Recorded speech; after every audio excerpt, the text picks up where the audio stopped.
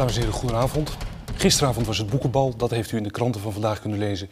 Daarmee is de Boekenweek 1998 officieel begonnen. En op de avond van de eerste dag in deze Boekenweek gaan wij daarom over vijf nieuwe Nederlandse boeken praten. Dat is natuurlijk het Boekenweekgeschenk. Dat is van Arno Grunberg dit jaar, De Heilige Antonio. Het boek waar we natuurlijk ook niet omheen kunnen is van Connie Palmen, IM. Het is overal besproken, tot en met de columns toe. Iedereen heeft er een mening over, maar vanavond krijgt u die van ons. Van Springer is er een roman, Candy, een terugtocht.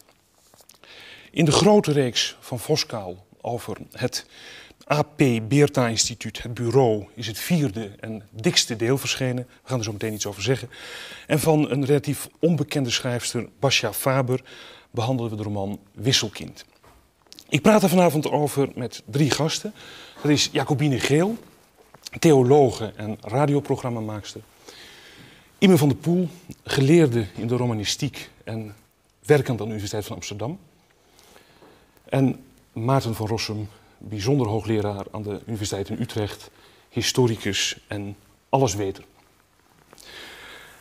Het meest besproken boek van de afgelopen weken is, ik zei het u al en iedereen weet het, Connie Palmen, IM. Het is buitengewoon lastig om hier nou nog eens een samenvatting te gaan geven van wat het is. Um, en dus kunnen we beter meteen de belangrijkste vraag aan de orde stellen. En dat is de vraag, is dit een reportage over een drama dat zo mooi begon als een sprookje? Of is het een roman over liefde en dood, zoals het boek zichzelf afficheert? Jacobine. Ik heb daar ontzettend lang over nagedacht. En ik ben bang dat het een roman is. En dat zeg ik hierom. Het boek heeft een bepaalde opbouw. Het begint met het begin van hun liefde. De liefde tussen Connie Palme en Ischa Meijer. En uh, dat ontwikkelt zich buitengewoon voorspoedig. Vanaf de eerste pagina tot en met de laatste. En dan is er een slotdeel. Dat is het in memoriam. En dan blijkt dat Ischa dood is. En dan wordt hij beweend. Um, als het een reportage was geweest, dan, tenminste dat is waar ik uiteindelijk op uit ben gekomen, dan was ze volgens mij begonnen met het, met het slot. Dan was ze begonnen met zijn dood, omdat daar alles uit voortgekomen is, namelijk de behoefte om dat boek überhaupt te schrijven. Dat heeft ze niet gedaan, ze heeft er een roman van gemaakt en door met die dood te eindigen kon ze natuurlijk veel meer componeren en kon ze dat element van de dood op verschillende manieren laten terugkomen in de roman. Maar niettemin, er komt een grote hoeveelheid Nederlandse of in ieder geval Amsterdamse VIP's in het boek voor. Die worden bijna allemaal bij hun echte naam genoemd. Er is één uitzondering. Um, en die figuren die kun je bijna niet anders op dat papier tegenkomen, meen ik, dan als reëel bestaande types. Ja, maar dat vind ik überhaupt het nadeel van het boek. Dat je ook de hoofdpersonen niet anders kunt zien dan als het een reëel bestaand hebbende en bestaande Connie Palme en Ischa Meijer. Dus ja, ik heb wel heel erg geprobeerd om te lezen wat er tussen die twee kartonnetjes zit. En even proberen te vergeten ja, wat er nou allemaal, wat je er allemaal ook al van weet. Want kijk, wij weten al hoe het zit. Dat is natuurlijk zo vervelend. We, we kennen de afloop. Wij weten gewoon precies hoe dat het zit. Dat geldt alleen voor ons. Ik bedoel, als je ervan uitgaat dat Connie Palme, zoals toch stiekem iedere schrijver voor de eeuwigheid schrijft, dan over 30 jaar zal iemand zeggen: God, Hanneke Groenteman, wat een grappige naam voor dat personage. Ik bedoel, dat houdt natuurlijk op een gegeven moment op. Ja, ja, dat je dan krijgt dat mensen zich daarover gaan verbazen. Ja, wie noemt nou personage bij, Groenteman? Bij, ja, dat is een rare naam voor een personage. Ja. Ja. Um, raak jij het nu, in het heden, al lezend kwijt? De associatie met de realiteit? Uh, ja, omdat ik uh, ja, al heel snel, toen ik aan het lezen was, geïntrigeerd werd. Ik vind het dus geen goede of geslaagde roman, maar ik raakte wel steeds meer uh, geïntrigeerd door de onderneming. Want al vrij snel kwam ik tot de conclusie dat het geen boek over Isha Meijer is. Het is het boek over CP, namelijk Connie Palme. Het is een, een, een, ja, een, een, een mythe maken van een liefdesgeschiedenis die, als je in hetzelfde boek kijkt, want andere informatie heb ik niet, nou niet direct een, uh, een sprookje was. Ik bedoel, het is, het is wel degelijk een sprookje. Het is een laat 20e eeuws liefdesverhaal waarin de, de 19e eeuwse liefdesidealen worden verbonden met de Nederlandse laat 20e eeuwse realiteit. Maarten, snel, Frank. hoe vond je de roman? Want uh, we hebben nu vastgesteld hier dat het een roman is, de roman IM. Als het een roman is over liefde en dood, lijkt het mij een uh, zeer pijnlijke mislukking. En uh, ik vond het ook een waardeloze roman. Dat heeft natuurlijk allerlei reportageachtige trekken. Zoveel is wat duidelijk. En of het nou het een of het ander is, kan mij niet zoveel schelen. Ik vond het helemaal geen goed boek. En in het begin dacht ik nog van, nou, misschien. Hè, want het, het, het begint wel a tempo. En ik zou, je kunt nog eventueel iets positiefs zeggen over dat slot. Het zijn allemaal wel hele... Dat slot is de, de doods... Ja, dat zijn dus de laatste 30 pagina's of zo. En allemaal wel hele grote, zware woorden. Hè? Want dit is een persoon die dus voortdurend uh, met een emotionele houwitser schiet. Uh, hè? Het, het werk op de floret is haar totaal onbekend. Zo goed als ironie, zelfrelativering, de hele bliksemse boel. Dat ontbreekt in dit, in dit meesterwerk. Uh, ik denk ook niet dat het voor de eeuwigheid bestemd is, eerlijk gezegd. Nee, maar het pijnlijkste is dat enorme middenstuk, hè, waar in ja, feite... dat is meer dan 250 bladzijden. we hebben het niet over het middenstuk, ja, we hebben het gewoon over het grootste gedeelte van de roman. Ja, het grootste gedeelte van de roman is namelijk een stom vervelend verslag van, van de liefde tussen deze twee personen, waarbij de klassieke denkfout wordt gemaakt dat een grote liefde ook tot een groot boek leidt. Maar dat is helemaal niet zo wat voor de betrokkenen misschien geweldig is geweest. Daar wil ik verder helemaal niet in treden. Interesseert me bovendien ook geen reet. Ik ben alleen als lezer geïnteresseerd. Ja, ontaard voortdurend toch in, in kinderachtigheden, waarbij de lezer ook een beetje met het zweet van ellende in de handen zit. Hè. Dat Noem eens wat van die kinderachtigheden. Nou, dat, dat IT-gedoe. Wat, wat elke tien bladzijden hebben ze dus herrie met elkaar en om een of andere reden uh, roepen ze dan home en krommen ze de vinger. En bij mij krommen de tenen dan. dat, dat is het probleem eigenlijk. En, en, ja, maar dat vind ik dan ook nog te verkiezen eindeloze... boven al die eindeloze van... ik hou van je, ik hou ook heel veel van jou. Ja, maar ben je gelukkig? Ook, ja, ik ben zo staat, gelukkig. Staat er ook nee, maar in, daar, bedoel, daar staat het dan echt bol van. Dus ik ben al blij met iets wat min of meer daarbovenuit stijgt. Toch, en een, toch een moet ingrijpen, want dat is dan toch naar het leven getekend. Want mensen die verliefd zijn, uh, althans dat is mijn observatie in deze... Um, die doen ontzettend kinderachtig, ja, maar die zeggen originaliteit. Dat, Nee. Zeggen ze verliefd, verliefdheid is een rampzalige emotie die onmiddellijk bij wet zou moeten worden verboden. Dat is algemeen bekend. maar je kunt er wel iets veel mooiers over schrijven dan hier gedaan is. En zij is er absoluut niet in geslaagd om een soort van literair abstractieniveau te bereiken. Ja, dat Het- komt natuurlijk ook het doordat... keutelt doordat maar door. Ik heb, misschien kan de 31ste druk ook voorzien worden van een bandje, ook zeer geschikt als, als reisboek. Hè? Of als, als eh, hoe heet dat, eh, Reis- reisgids. Hè? Over al die gezellige restaurantjes en al dat heerlijke eten her en der en al die fijne betrokkenen vliegen, dus, nee, maar dat, is, dat is wel een belangrijk element, Oh, Maarten, de wat je noemt. De twee vliegen voortdurend Nederland uit. Want, en, en dat is Dat ook... mag van mij, Nee, wacht nou even. Wacht beschrijven even, dat is ook het zo sprookjesachtige ervan. De, de liefde die ze hebben is zo bijzonder, die kan ook niet thuis worden beleefd. Die dient in een bepaalde type hotels van de wat duurdere prijsklasse te worden geconsumeerd. En hij wordt veelal geconsumeerd in Amerika. Het is ook nog wat, Frankrijk komt erin voor. Ehm, het, het, het verhaal ontsnapt daarin ook aan het normale leven. Want er wordt voor een vermogen aan, aan reiskosten Ja, gemaakt. goed, ja, ik zou dat niet kunnen ik- betalen natuurlijk, dat, maar dat dat... heeft natuurlijk ook een functie. Nou Maar ja, dat- dat, be- benadrukt dat sprookjesachtige. Nee, nee, nee, niet alleen dat. Dat, dat dat is niet het enige. Het is de enige manier waarop ze, tenminste dat is het verhaal, waarop ze bij elkaar kunnen zijn zonder dat de hele wereld bezit van ze neemt. Want omdat het allebei, en dat is in het boek natuurlijk ook zo, bekende Nederlanders zijn, worden hun schreden vanaf de eerste keer dat ze elkaar bij wijze van spreken Ja, ontmoeten gevolgd. is- Ja, is dat nou zo in het Eigenaardig. boek? Als je dat toch in die racestraat op die bovenverdieping gaat zitten, dan is het toch niet zo dat heel Nederland daar door de ramen meekijkt. Hoor. Nee, het punt is juist dat je Ik daar weet niet eens de tegenkomt. racestraat is, dus eh, laat staan dat ik er naar Nee, zou gaan dat, dat kijken. kan eventueel uitgelegd worden of opgezocht. Ehm, maar het, het, het punt is juist dat ze ook hier in betrekkelijke anonimiteit leven. Ja. En eh, behalve dan dat ze allerlei bekende collega of collega-bekende Nederlanders nog wat? Dat wordt überhaupt bijna niet Er wordt steeds getamboureerd op hun ongelofelijke beroemdheid natuurlijk. In Amsterdam. En dat is natuurlijk in Nederland de enig denkbare beroemdheid. Dat wil ik nog wel weer toegeven. Hè? Want hij wordt op straat nageroepen. En zij is natuurlijk ook in toenemende mate iemand die wereldberoemd in Amsterdam is. En daar gaat dat boek gedeeltelijk ook over. Maar ik heb een heel En daar ander wordt heel idee vervelend mee dat wat mij Amerika. Dat is volgens mij ook een strategische keuze. Je kunt dat sprookje is alleen waar als ze inderdaad met z'n tweeën in een hele andere wereld zijn. Het is een keuze van Connie Palme om dat Amerika eruit te lichten. Want het was natuurlijk, neem ik aan, eh, helemaal niet zo'n sprookje als ze gewoon in Amsterdam waren. Dat moet het sprookjesachtige juist op... eh, alle mogelijke manieren bevestigt. Ja, en er zijn twee redenen voor. Er zijn een- twee redenen voor. In de eerste plaats is het dat Lauderdale waar ze heen gaan en wat wordt beschreven als een dorpje, een klein stadje, dat helemaal een jaren 50 sfeer is. Daar voelen ze zich thuis, als ze naar de kneuterigheid van de jaren 50 kunnen.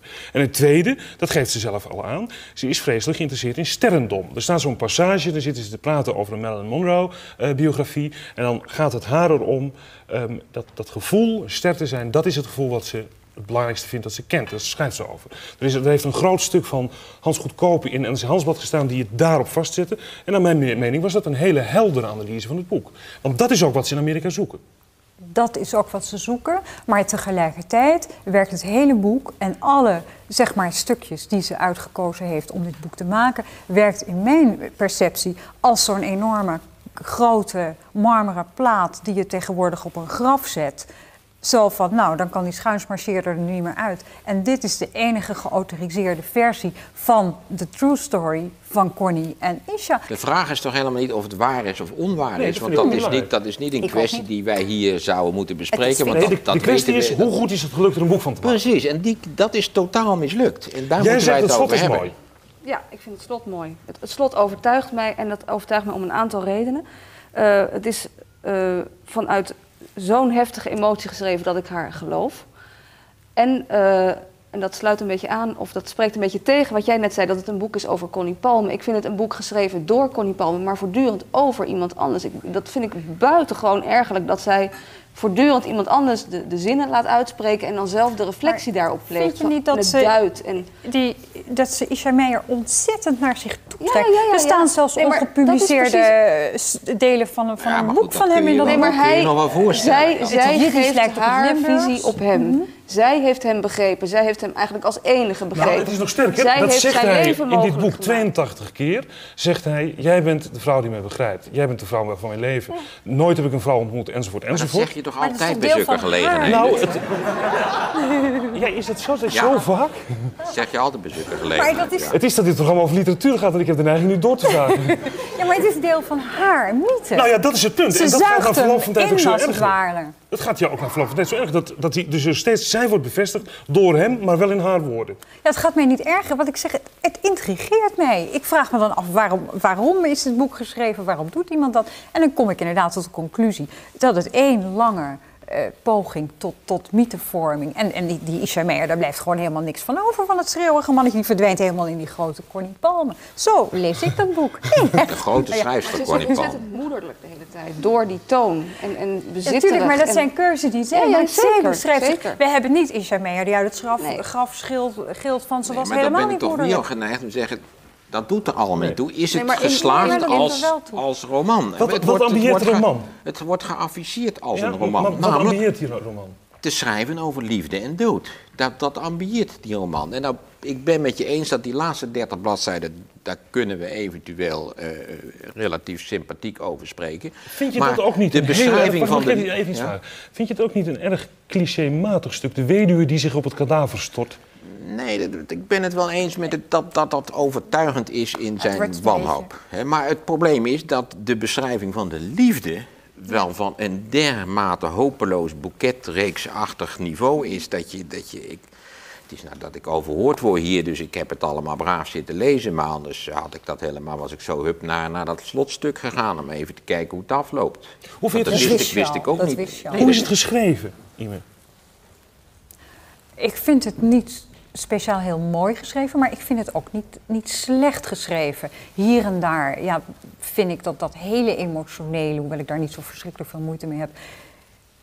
Ja, is het, zijn het inderdaad clichés, maar ik vind het geen slecht die geschreven boek. ondertoon Nee. van, van hysterie en zelfingenomenheid. Ja, daar hou die- je die- niet van, maar Die combinatie van hysterie en zelf, hysterische zelfingenomenheid. Of in, zelfingenomen hysterie. Ik En weet over wie heb niet. je het nu? Over Meijer of over Palm of over alle twee? Ik heb het nu even over palmen. Eh, ik, ik, ik, mij Nou, interesseert- Meijer komt er ook tamelijk me verknipt uit naar voren. Meijer komt er ook tamelijk verknipt uit naar voren. Ja, maar daar wisten we dat hij volstrekt verknipt was. Maar nu blijkt Ja, nu- Ho, ho, ho, nu ga je weer naar buiten. Nu Ja. gaan we weer naar buiten. Laten we in de roman blijven. In het verhaal. Ook in het verhaal Ja, is hij... ja, ja, goed. Nee, ik, zou, Ja, ik in zou zeggen, het gaat over twee mensen die zich aan elkaar vastklampen en desondanks op wonderbaarlijke wijze ook ergens van bevrijd worden. Maar waarom moet dat dan her en der in dat kreupele proza?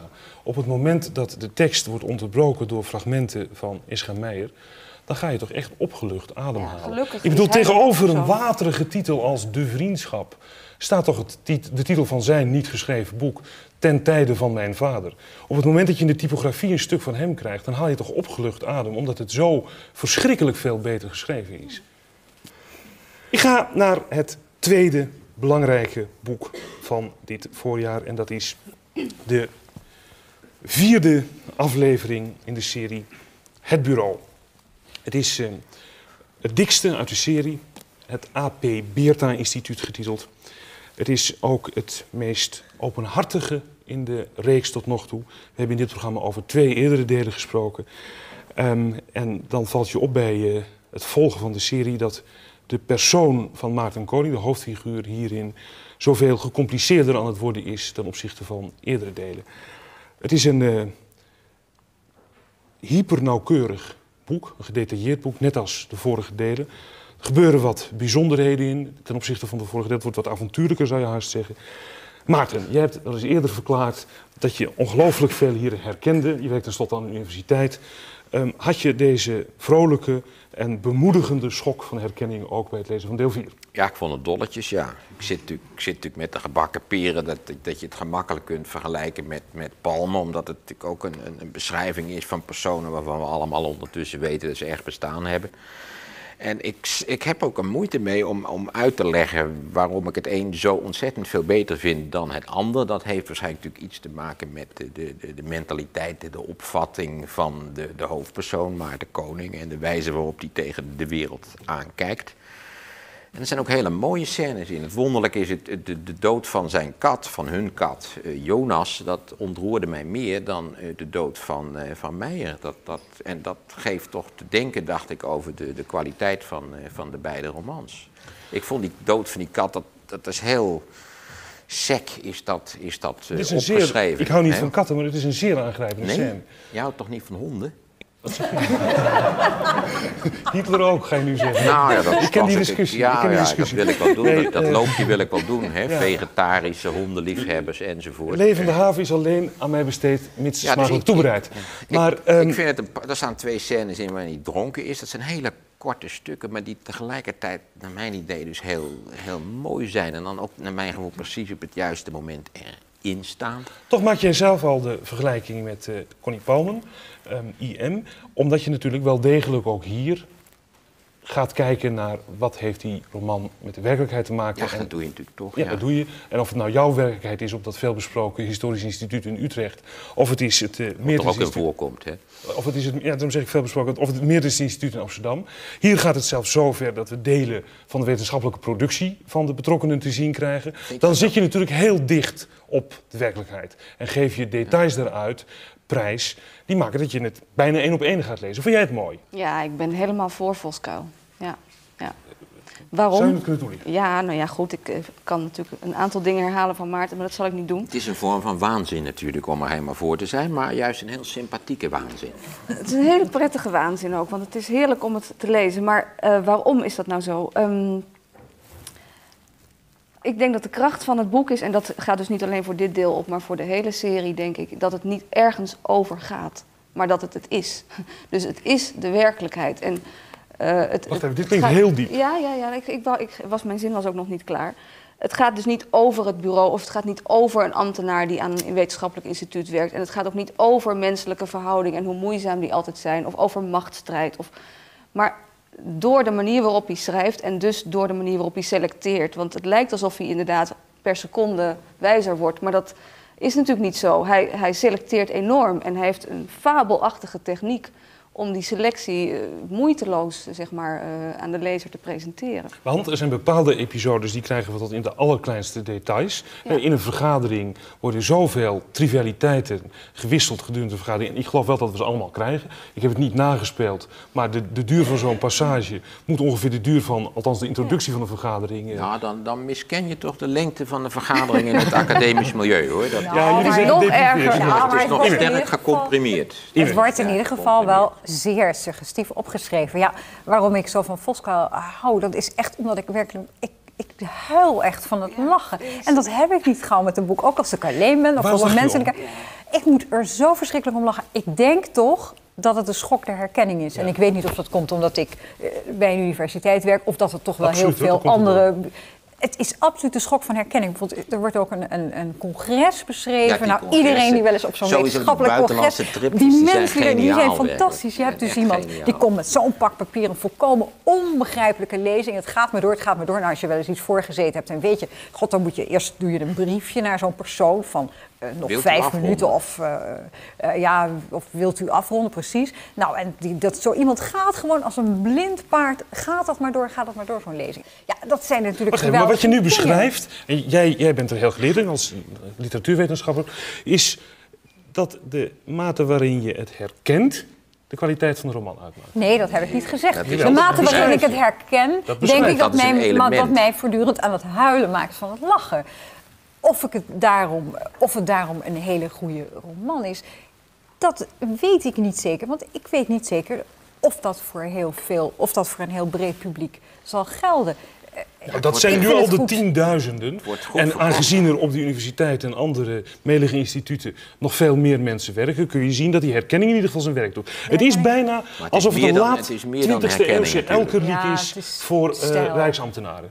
Maar wat bijvoorbeeld Is het nu- dat? Ik, ik, Een- weet niet, ik een- weet niet wat die laatste drie delen zullen inhouden, maar wat me in, in een aantal boeken die we nog gaan bespreken, daar zie je dus dat er een, wordt een plot geconstrueerd en iets heel dramatisch eh, wordt er georganiseerd. En uiteindelijk blijkt dan de schrijver daar geen puntje aan te kunnen zuigen, wat een klassiek probleem is van de film en de roman enzovoort. Maar bij hem is er helemaal geen plot. Nee, maar dat er zijn ik, ook het geen. gaat dus nergens over. Ik zou me misschien geërgerd goed. hebben als ineens het instituut in de fik vloog of zo. Met Ja, de hele kaartenbak. drama de hele kaartenbak. Maar er is helemaal geen drama. Nee. Terwijl je dat wel zit te verlangen, dat de boel een keer Nee, dat. Nee, nee, nee, dat is juist zo prettig. Ja, dat er Nou, er is, er is een moment dat je Ja. denkt, mag er nu wat gebeuren? Ja, toch met deze duizend bladzijden verlangde ik op een gegeven moment toch wel naar, ja, naar iets Drama. meer vorm, Nou, het is een iets deel van meer de truc. drama. Het is een deel van de truc. Dat je, dat je zit te wachten tot er iets gaat gebeuren en er gebeurt niks. En die anticlimax is een hele verrassing. Dat je erin slaagt om duizend pagina's lang helemaal niks van betekenis te laten gebeuren. Had Palme dat nou maar iets meer Ja, gedacht ja. dat de meeste dingen eigenlijk vrij onbelangrijk zijn in het zicht van de eeuwigheid. Hè? En lekker, lekker. Dat troost jou echt, hè? Als je Ja dat, ja, dat vind Ja. ik wel een prettig Je vindt een soort geborgenheid ik vind, in dit ik, boek. Ik vind ook leuk de manier waarop hij over wetenschap denkt. Want daar wordt in de literaire kritiek eigenlijk nauwelijks of geen aandacht aan besteed. Hij doet eigenlijk net alsof hij een wetenschappelijk nihilist is. Maar naarmate natuurlijk de delen vorderen, blijkt hij dat eigenlijk helemaal niet te zijn. Dat is En dat is krijgt hij allerlei opvattingen over hoe dat vak zou moeten worden beoefend. En dat het traditioneel helemaal verkeerd is beoefend. En dat je dat dus als proces moet zien. Dat vind ik dus ook erg Ja, dat, aardig. dat levert in dit deel ook op dat de afstand tot zijn vrouw wat groter wordt. Want in het begin... vind alles flauwekul. Ja, die vindt alles flauwkel en hij neemt daar nu wat Ja, afstand behalve van. Russische dissidenten dan. Maar... Zijns ondanks deel van het Ja. systeem en er, hij is er toch door gegrepen. En daar zie je ook een zekere En ontwikkeling. dat is prachtig. Ja. Ja, en dat is toch heel fascinerend En op hij, papier hij is echt als zo'n buitenstaander begonnen in deel 1. En langzaam maar zeker, naarmate die natuurlijk ook belangrijker wordt binnen het instituut, omdat hij gewoon meer macht heeft, daar gaat het natuurlijk ook wel vaak over, voor zover het dan ergens over gaat. Dan, ja, hij, hij zit er middenin. Dus hij ook, neemt ook het daar zie je een tegelijkertijd verschrikkelijk serieus. zie je ontstaan op het moment dat je het beschrijft. En volgens mij is het dat dus ook aan het worden. Een soort, eh, een soort spiegel der zaligheid of onzaligheid van elke leek. Waarin iedereen die betrekkelijk zinloos werk doet, waarvan die weet... Dat doen dit we moet- bijna allemaal. Het leuke, als je Ja. ja. Ja, ook ja. begrijpt, Dat, gezeven, dat hier is natuurlijk ook min of meer Betrekkelijk zinloos. Maar we hebben nou En dat kan je afspraak 45, gemaakt. dat we hebben- 45 jaar volhouden. Ja, dat- en, moet je en nou de eenmaal lezer wordt in die zin gesticht door drinkt duizend bladzijden van andermans zinloosheid. Maar wat ik ook wel leuk vind, is dat hij toch ook... eh, ieder deel heeft, draagt toch wel het stempel van de tijd. Ik bedoel, dit is Ja, echt oh ja, jaren dat is 70. prachtig, Die man die alvast naar huis gaat omdat hij misschien wel moe of ziek zou kunnen worden. Dat is typisch. Dat doet nu niemand meer, want dan raakt Nee, hij nee, baan nee, vrouw, kwijt. dat is de- typisch dat is van de de politiek erin- 70. in terecht. En ook, dat erin. de vrouw van Ad belt op en dan zegt Maarten Koning, is Ad ziek? Nee, zegt zijn vrouw, heeft het een beetje warm. Dat is, hè? Ja. Ja, dat is Zo, wel mooi. zo zijn we aan de WHO Goed, gekomen. het is een En duidelijke afspiegeling van de observaties die zo werkelijkheid. Als mens kun je Ik ga naar het... Niks ervan. Ik ga naar het derde boek. Springers boek Candy. Springer is zo'n schrijver die, eh, die een beetje naast de hoofdstroom van de Nederlandse literatuur eh, staat, maar een naar mijn oordeel schitterend oeuvre heeft eh, opgebouwd, waarin één keer in de zoveel tijd zo'n aflevering verschijnt. En deze is een terugtocht gemaakt door een gepensioneerde meneer naar de deelnemers aan het repatriëringskamp op Ceylon, het huidige Sri Lanka, waar hij na de bevrijding van Indonesië, dat wil zeggen het verdrijven van de Japanners uit Indonesië, terechtkomt terug naar Nederland, wachtend op een vader die weer ergens anders vandaan komt. Wat er in het boek gebeurt is dat de gepensioneerde meneer op zoek gaat naar wat daar werkelijk gebeurd is. Er zijn een paar dingen gebeurd, dat wil zeggen die zijn in zijn geheugen blijven hangen. Het is voor Springer van een kenmerkende en zeer aan mij besteden toon. De toon van de totale vergeefsheid van volgens mij bijna alles. Ime, ben jij een Springer-liefhebber? Ja, absoluut.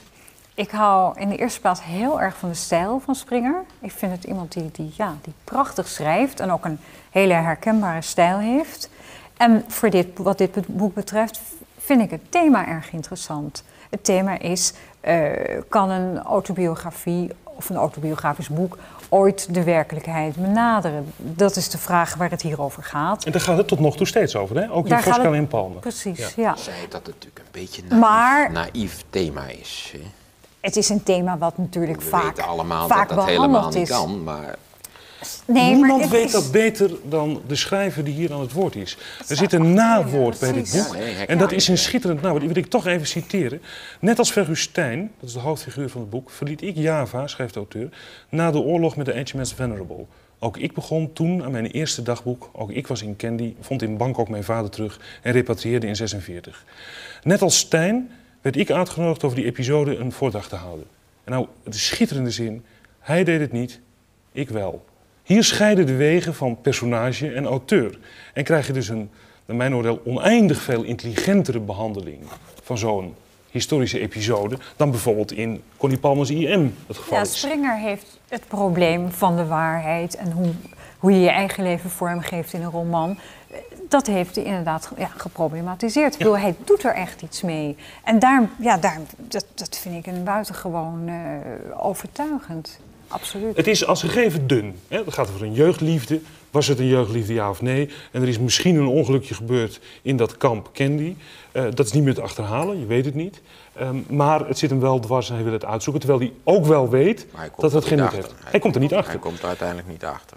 Ik vond het niet de beste springer die ik heb gelezen. Nee, maar daar zeg je nog wat van. Maar een zeer passabele springer, laten we het zo zeggen. Er zijn een aantal momenten waar je denkt van nou, nou, ja, dat, dat, waar die, waar die, hè, die perfecte toon uh, een beetje verliest. Dat is wanneer hij met die oude kameraden uh, een avondje gaat zuipen aan boord van een schip. Dat vond ik niet sterk en... Ik vond het eind was mij nog weer iets te dramatisch. Dat, had, dat is eigenlijk weinig springerachtig. Dat had naar mijn idee iets koeler en melancholieker beschreven kunnen is. worden. Hij gaat uiteindelijk, komt hij het meisje waar het om draait op het spoor. Hij gaat naar Londen. Pinky heet het meisje en hij ontmoet haar. En dan gebeurt er voor een roman iets raars. Er wordt in huilen uitgebarsten. Terwijl je dat leest, denk je dat kan dus niet. Want in een roman moet je dan altijd suggereren. En tegelijkertijd, terwijl je zelf ook op het punt staat in huilen uit te barsten. Oh, ja want het is een uiterst roerende scène op dat moment, um, denk je, ja, waarom zou het eigenlijk niet mogen als hij, als hij dit doet? Jij vindt dat een, een slap eind? Nou, slap is het woord niet. Het is niet helemaal, naar mijn idee, naar, naar de toon die in, het rest, in de rest van het boek gezet is. Ik, he, daar, hij, hij gaat plotseling drie registers uh, hoger opereren. En kennelijk is dat voor mij al uh, in ieder geval één, één register te veel. He. Ik vond het eerste afscheid van Pinky, waar zij, waar zij in feite binnen enkele minuten verdwijnt hè, en even nog haar nagels in zijn bovenbeen zet. Het zijn dan, wat is het, 11, 12 jaar. Dat is eigenlijk een veel knapper afscheid dan, dan dat definitieve, voor eeuwige afscheid wat aan het eind van het boek wordt genomen. En in feite was dat ook het definitieve tuurlijk, afscheid. hij vindt het natuurlijk ook helemaal niet terug. Hij vindt, een bejaarde dame terug. Ja, een hele, heel kwieke, dan... hele kwieke dame en zo, maar... Uh, het is en daarom vind ik het ook volkomen geoorloofd dat, dat het... prachtig, ja. Precies. dat vind ik nou zo schitterend, want eigenlijk bestaat die Pinky überhaupt niet voor hem. Hij komt terug in Nederland na vele omzwervingen, is met pensioen, krijgt een uitnodiging om te spreken over de repatriëring ooit in 46. Dat is voor hem de aanleiding om in dat verleden überhaupt te gaan duiken. En dan vindt hij een koffer en daar zit een schriftje in. En in dat schriftje daar nou ja, dus samen met zijn eigen herinneringen en dat schriftje co- reconstrueert hij dat verhaal. En naarmate dat verhaal voordat, wordt die Pinky eigenlijk steeds belangrijker. Die, die is eigenlijk helemaal niet er geweest voordat hij zich daar weer in heeft verdiept. Dus dat vind ik op zich al zo prachtig. Ja, maar dan heb je dus ook Hij meteen de verliteraturisering gezien. Door, door zich haar te herinneren. En dat moment van, van, ja, van afscheid en dat hij dan in dat schriftje schrijft... Pinky, Pinky, Pinky, Pinky, Pinky. Nou, dat is op zich ook al tamelijk drama- dramatisch, vind ik. Ah, dat en, is, Voor mij eigenlijk, is dat ruim voldoende drama. en eigenlijk wordt datzelfde verhaal nog een keer verteld. En, maar dan niet door hem, maar door eh, herinneringen van zijn vrienden... die ook in die tijd in hetzelfde kamp hebben gezeten... En dan blijkt ook de onnauwkeurigheid van de herinnering. Maar ja, hij heeft het schriftje, Nou ja, dus hij weet eigenlijk dat zeker iedereen zijn eigen verhaal eraan verbind. Ja, het verhaal precies. van die vrienden is een totaal ander verhaal. Het lijkt haast wel alsof, alsof ze dat verleden niet delen. Nou ja, maar Nou ja, dat, dat is het Dat is zo. het. Ja. Dat Ja, natuurlijk is dat altijd zo, maar het gaat erom, is het mooi opgeschreven? Ja, dat is, dat is Want hij heeft, hij heeft natuurlijk iets- een hele specifieke toon. Ja, dat het hele mooiste- laconieke, dat Het mooiste rustige. van die toon is dus het, het, het sobere en tegelijkertijd diep melancholieke Ja. karakter van die toon. Dat, dat is zijn waarmerk natuurlijk. Want dat geldt ook als je Tabé New York leest. Dat gaat over in feite een, een volstrekt identiek probleem. wat Bandung, Bandung, hetzelfde verhaal. Ja, dat heb ik niet gelezen, maar goed. Dat, en eh, ja, dat, dat bevalt me enorm, die toon. ja. Hè? Wat is er mooier dan iemand waar eigenlijk elke zin zegt... het is voorbij en het is voorgoed voorbij. Ja, en ook het is allemaal volstrekt vergeefs. Het is bijna van Ja. een soort Oosterse contemplatie. Dat klinkt dat vet, maar dat maakt het is zo De laatste scène vind ik zo sterk, Ja. die Maarten dan eh, Ja, te emotioneel vindt. Juist omdat het, iets het vergeefse... En hier zie je hoe het zich ook onttrekt aan de vraag... Was het echt? Ja. is het, er- doet er helemaal niets toe. Want er wordt een verhaal van gemaakt. Dan krijg je een soort spanning, Ja. een soort samenhang. Ja. Die, die ik Nou, maar heel ook, bedoel, je- dat las je niet voor van het slot, maar dat vind ik er wel heel erg mooi aan. Dat, dat citaat van Max Fries. Van Ja. Op een gegeven moment verzint ieder mens voor zichzelf zijn eigen geschiedenis. En dan gelooft hij dat dat zijn leven is. Ja, er is Ja, zo'n dat citaat van Max dat zegt... Dit zijn ich-geschichten die niet over mij gaan. Ja. En Ik dat, ook dat geloof, is het mooi. is natuurlijk vers 2. Maar Ja, Nee, maar dat, is, dat heeft hij gewoon elk- helemaal laten je kunt zien. elke maand kun je een nieuwe geschiedenis verzinnen. Ja, dat natuurlijk. is ook zo. Laten we ermee doorgaan, wat mij betreft. Basja Faber, wisselkind. Eh, qua locatie blijven we in de buurt. Ehm, het is een roman die verteld wordt vanuit een... Nou het belangrijkste verhaal is het verhaal van een stokoude dame... die op Atje geboren is eh, met de eeuwwisseling 1900... en nu 95 jaar oud op een landgoed in Nederland eh, zit... en terugkijkt op haar leven en vooral terugkijkt op wat er misgegaan is of niet misgegaan in Atje onder de, het Nederlands bewind. Misgegaan is met haarzelf als kind van de cultuur daar en als kind van een Nederlandse arts. Ehm, mis of goed gegaan is met Atje in het heden. Ehm, ze vaardigt haar kind, haar eigen kind, af eh, als verjaardagscadeau om polshoogte te gaan nemen. En als het ware het verloop, de afloop van de geschiedenis te gaan controleren. Wat we krijgen is een verhaal in verschillende fasen van de tijd. Een verhaal dat een bijzonder aspect van het Nederlandse, Indonesische of Indische verleden behandelt. Nu is geen Tempo gezeur, maar een reëel politiek historisch probleem vanuit een complexe verteltrand. Ime, wat vond je? Ja, ik vond het, eh, ja, ik vond het eigenlijk wel een, eh, wel een geslaagde roman met, met enige kanttekeningen, die zal ik zo zeggen. Wat ik echt zeer waardeer is dat het, ja, het gaat ergens over. Het gaat misschien niet over het fraaiste deel van de koloniale, of nou, de koloniale geschiedenis is natuurlijk überhaupt niet erg fraai, maar het gaat over wel een zeer interessante eh, materie, namelijk de Atje-oorlogen. Wat ik tegelijkertijd zeer waardeer, is dat dat historisch eh, perspectief, jij hebt dat ook al aangegeven, verbonden wordt met Indonesië nu. En ik vind eh, de stijl, de dialogen niet altijd even sterk. Maar ze heeft tegelijkertijd een soort lijfelijke, ja, hoe moet je het zeggen, lijfelijke stijl die, Ja, die ja, mij wel ja, bevalt. ja. Ik Jacobine. Het is, het is, een, het is een verhaal. Ja. Eh, anders dus dan wat we over de eh, eerdere boeken hebben opgemerkt, waar eh, die samenhang met de realiteit toch vroeger of later opduikt.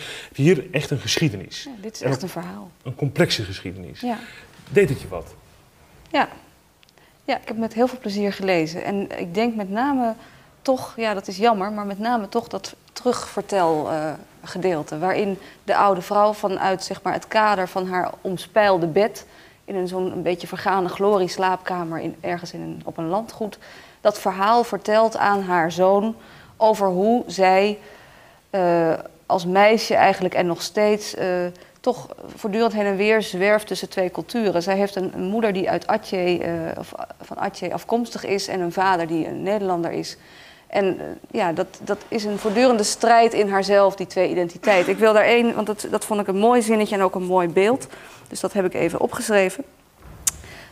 Echte op een, gegeven, ja, nou ja, op een gegeven moment vraagt eh, de, de, die vrouw zich af of iets alleen verraad is wanneer er sprake is van boze opzet. Of ben je voorbestemd, zoals een trekvogel is voorbestemd om heen en weer te vliegen.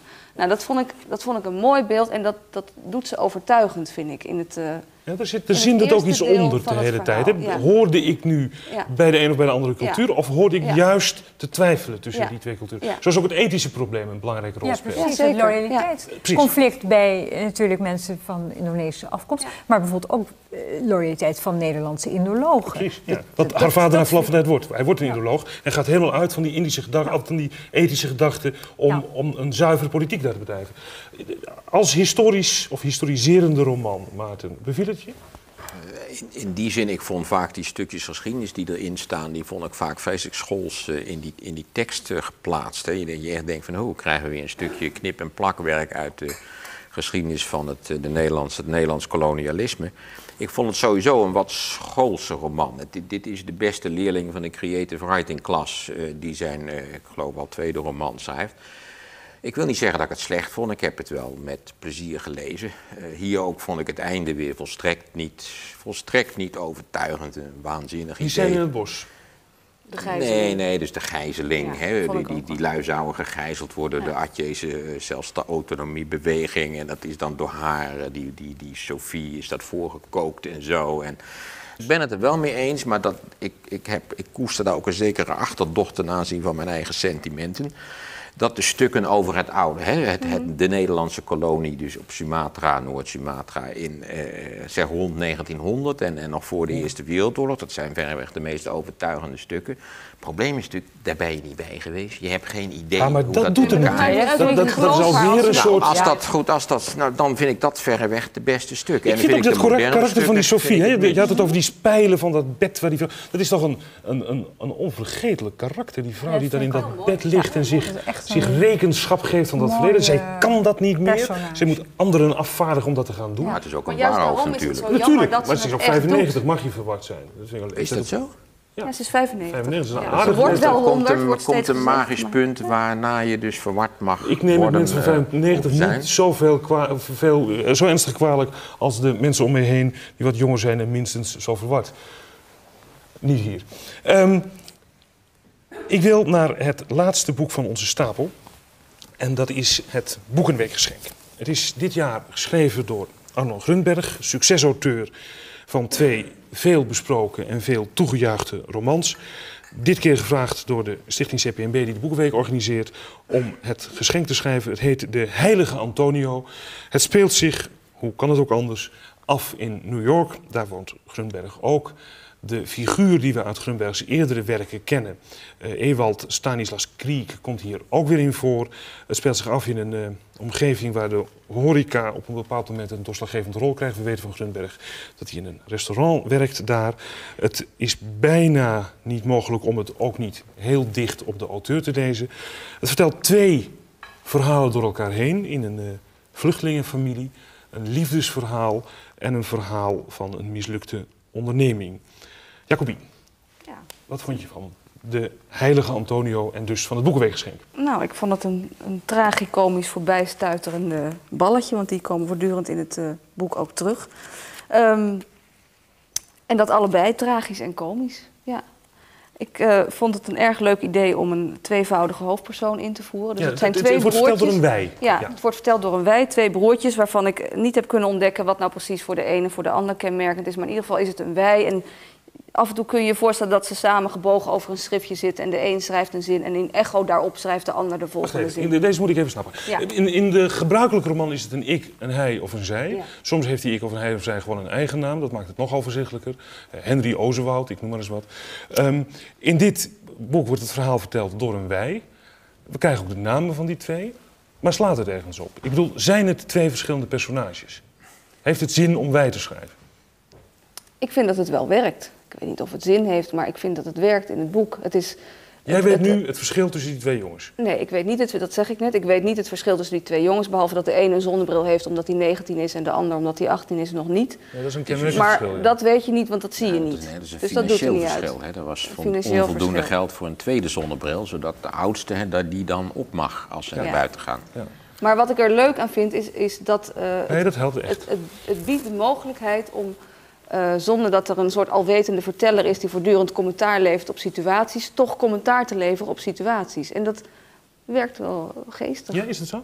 Je, je, je bent er tevreden ben het- over, over de wij? Ik ben tevreden over de wij, want het, het, het zijn twee jongens die werkelijk, twee broertjes die alles samen doen. Dus waar het tussen, tussen wie een soort, ja, het is geen tweeling, maar het zou een tweeling kunnen, eh, kunnen zijn.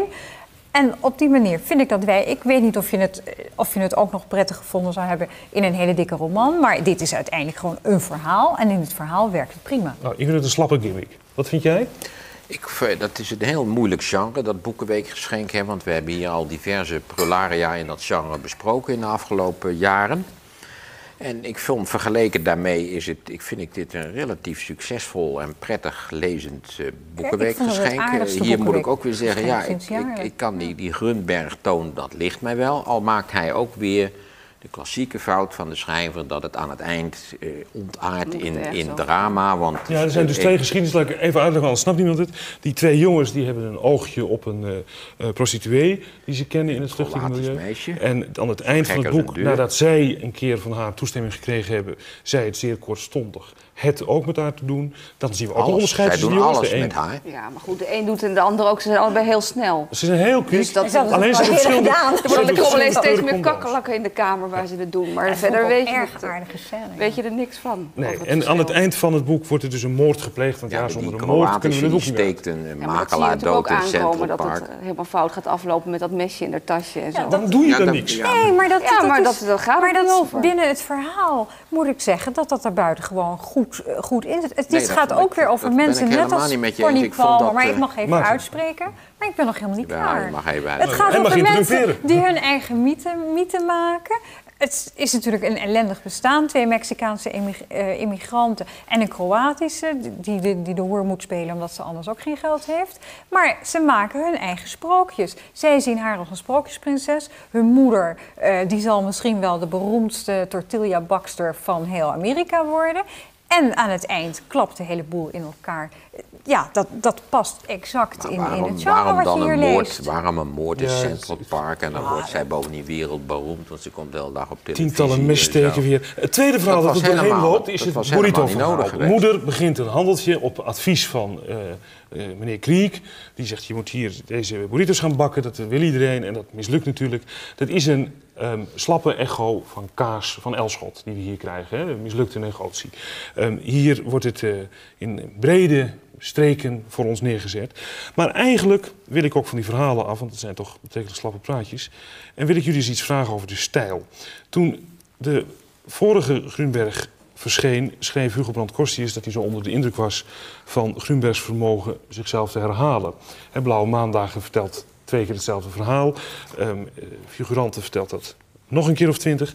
En hier zie je het ook op het niveau van de stijl. Ik lees iets voor. Op woensdag gaan we naar de wasseretten. Raffaella heeft geen tijd om naar de wasseretten te gaan. Eigenlijk is het geen mannenwerk om naar de wasseretten te gaan. Daarom gaan wij altijd op woensdagochtend naar de wasseretten. Het werkte één keer op mijn lachspieren, omdat ik Nu denk, ook weer. zo Ja, nu Ja, ook weer. want, wel. Ja, hoor, je, gaat eh, dit, heel je gaat dit kritisch voor zitten lezen, Michael. En je Ja. moet toch Ja, maar is mijn lachen, ironische talent kan ik niet onder stoel of bank Ja, steken. nee. Maar als ik daarna ja. moet Oh, lezen... je vond het toch weer leuk. Eh, Als ik, nee, wacht maar even. Als ik daarna moet lezen. Ik heb eerst een tijd in München gewoond. In München zijn de mensen heel goed gekleed. Ik hoop dat mijn man uit München komt. Dan is hij vast ook heel goed gekleed. Ze wil daar schoenen gaan lakken. Ik dacht, wat gaat ze nou doen? Ze gaat de schoenen lakken, enzovoort. Er komt een moment waarop je denkt, ach, ga het toch op. Nee, maar Dat ik, vind, is zo ja, ik, ik weet niet of ik, ik denk niet dat ik zo praatte toen ik 18 was, maar ik vind het wel Het passen bij het beeld van het zijn verhaal. twee jongeren die een heel eigen manier hebben om de werkelijkheid Het te ook- analyseren. het zijn ook vrij onnozel. Het zijn ook vrij onnozele hebben een eigen manier om de werkelijkheid te... Maar als het nou een vervelende manier is, waarom moet ik dat dan 92 maar ik vind bladzijden het lang niet zo lezen? vervelend. Nee, het is Je een houdt leuk, echt van die herhaling. ja, het is een leuk Absoluut. boekje. Ik vind dat het in dit verhaal uitstekend werkt. Ik doe een beetje denken aan de films van, van David Lynch. Het Het is het echt een stijl. Hè? Ja, ja. Ik vind het Maar een heel ik ben het wel met jou eens van je moet er niet aan denken dat dit duizend pagina's is, want dan word je echt gek. Dus daarom zei ik, het is maar goed dat het Wat is voorbij het maximum aantal pagina's waarop je Nou, deze dit herhaling steeds 96 verdraagt? geschenk. Misschien moet Grunberg echt- elk jaar het Boekenweekgeschenk een schrijven. hè? Misschien is dat een idee. Dan zijn we Slaat me in ieder geval van van dat dat ook af wie het moet nog doen. te lezen. Dat is een hele Ehm, carrière daar verder aan wijt. Ik wil nog één slotvraag stellen. We hebben nu gekeken naar die verhouding tussen dat heel erg op de werkelijkheid zittende proza van eh Voskou en volgens mij ook van Grunberg. Want eh, de jongeren die zo praten. Ja, volgens Die zou mij. ik niet in één adem willen Nee, noemen. En dat ik. zou ik ook niet bedenken om dat te doen, eerlijk gezegd. Maar waarom zeg jij dan Ik vind zo het helemaal niet dicht bij de werkelijkheid staan. Ja, het roept een sfeer op van een gespreksvorm waarbij er dus niet voortdurend diepgravend geanalyseerd wordt, zoals in bijvoorbeeld in Palmen. Diepgravend tussen aanhalingstekens, maar waarin gewoon gereageerd wordt Maar op wat er gebeurt. Het is toch ook niet zo dat ja. je de stijl van jongeren eh, treft door die stijl exact op te schrijven? Dat doet de goede schrijver nou Ja, juist dat, niet. dat heb ik dus ook niet beweerd, maar dat beweer jij door te zeggen, zo praten ze. Nou ja, nee, Daarom maar kom ik op dat, dat realismeprobleem. Het overtuigt mij, omdat ik het... Ik vind het niet gek. Ik, vind, het het niet gek bij realistisch 18-jarige mensen dat het zo... En ze, ze schrijven het ook zelf op, dat, dat weet je aan het begin. Mhm. Zij schrijven dat verhaal. Dus voor het eerst dat ze iets in het Engels schrijven. Nou ja, goed, ha, ha, Ja, ha. maar gezien zij Maar goed, dat vind ik dan weer een grapje. Maar Ja, dit is, dat een absurd- dit is een absurd Nee. verhaal. Het is geen realistisch verhaal. Dus de Dus dan, vraagstelling dan, deugt dan niet. hebben we het van sprookje tot absurdisme weten te brengen. Dat vind ik een mooie afsluiting. Dank jullie voor dit gesprek. Dank u voor uw aandacht. Tot de volgende keer. Zijn het Het bijna overal eens. Gutenberg. Nee, maar Ja, dat ontzettend Een beetje, een beetje teleurstellend toch eigenlijk. een eh, Ik begrijp het absoluut niet. Kijk, dat Michael dat toevallig zeggen. een, een- geen niks van Grunberg moet hebben. Dat Nee, is ik vind het een Ja, Het drama was toch dat we het overal over het eens waren. Ja, ik, Ja. begonnen met een het een aardig weerzin. Want ik dacht, die jongen die is veel te veel zelf in beeld. En Nee, dat heb maar het is- maar het is toch een Ik leuk te toch vind ik ik een nooit gelezen. Dat Ik moet ik nu het weer met een accentloze stem. Wat is het voor een onzin? Ja, jij leest het naar de Er wasseretten steeds. Maar je ook kunt ook vaak het die woord bozaard. Jij Dus begon je toch weer, jij ging het voorlezen, Michael, en dat had je dus Ja. veel strakker moeten Je begint weer te lachen, dat is toch hartstikke suf. Ja.